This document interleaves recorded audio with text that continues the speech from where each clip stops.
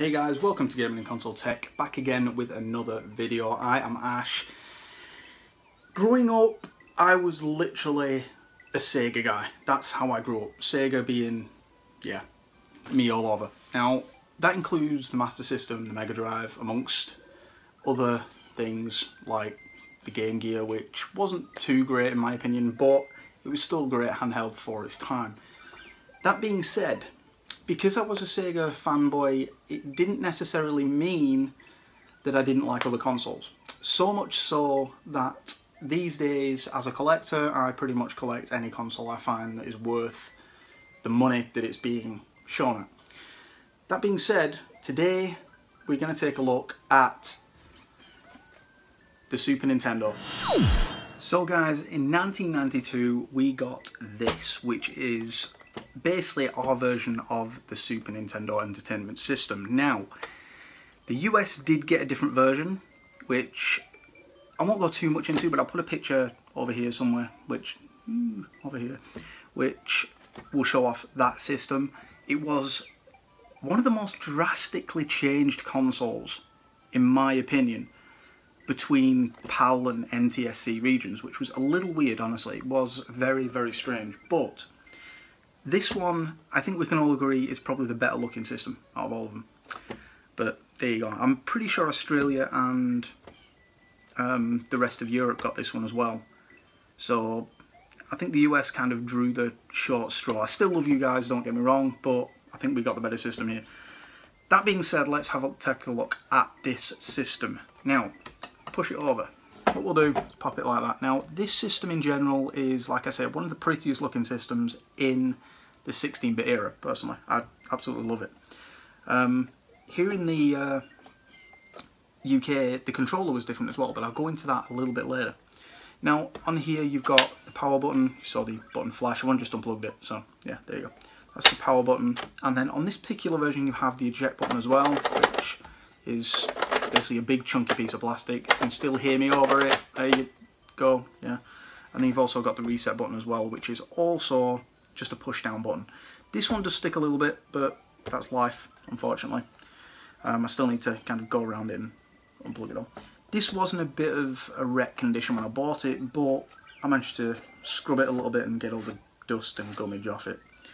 Now, on the top you also have your cartridge slot, which is, as it says on the top, PAL version, which you're really not going to, you know, cross them, I don't think. Just, yeah, that. Um, and then, like I say, on the top you've got the branding over here with Nintendo, Super Nintendo Entertainment System there as well. Now, this is where things get pretty simple, honestly. You've got your two controller ports on the front, which is fairly standard. And then on the back, you have your power in, RF, and also your AV out as well. Now in the US, this was literally a multi-out. You could use RGB and composite, I believe. This one I'm not too sure about. I've not looked into it that much. So it could support SCART, I'm not sure. And you never know, but we'd see. Anyway, that's that. That being said, on the back you've got this big vent, which I still don't understand what that's for. I've still not figured it out, and I can't see this thing getting hot, to be honest, but, you know. Then we'll turn it over onto the bottom, and you've pretty got your standard things. Right? What you will notice at the bottom is this little flap here, which, if we just pop open like that, is actually what looks like a serial port. Now, honestly, I still think this is all to do with the whole Sony and Nintendo thing back in the uh, early 90s where they were going to work together and then it turned out they weren't and then it all went bugger up. Now that that console that they seem to have been working on has been found, which was the Nintendo PlayStation I believe, I could be wrong, I think, but if you want to look more into that, then there are plenty of videos on YouTube to take a look at. Go and take a look. This in general is something very strange, honestly. I'm not entirely sure what it was going to be used for, but speculation kind of aims that way, that this was going to be the port that was going to be used for a CD add-on or whatever else. Um, there could be another reason for that, but that's just me. Now, let's pull this back.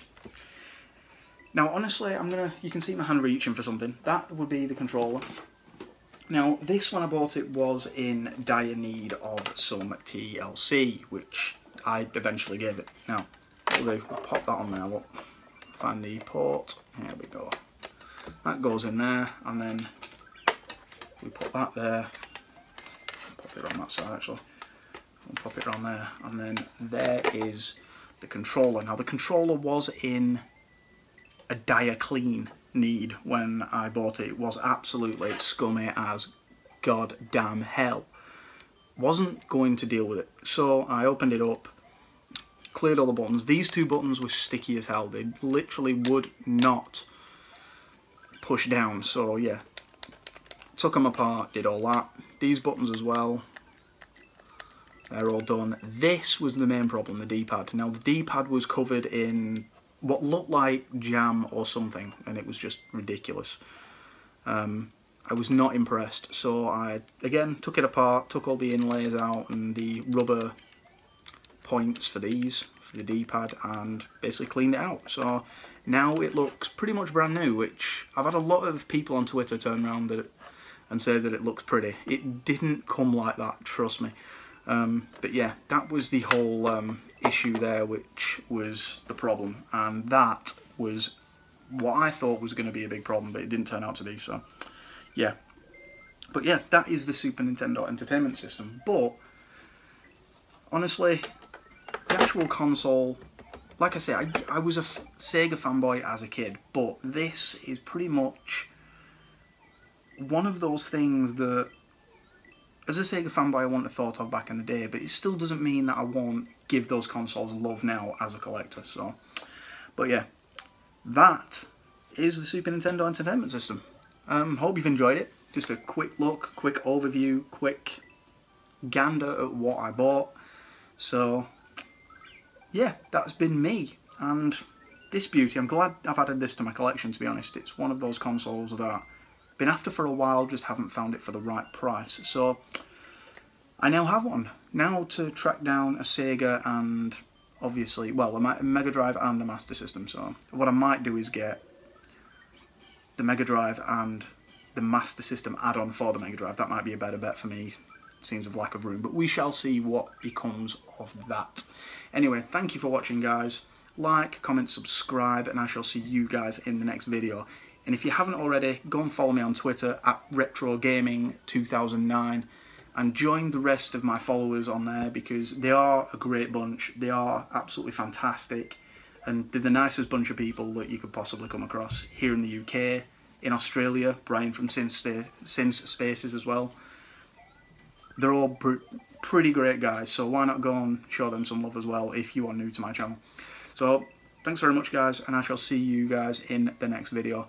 In the meantime, have a good one, and happy gaming.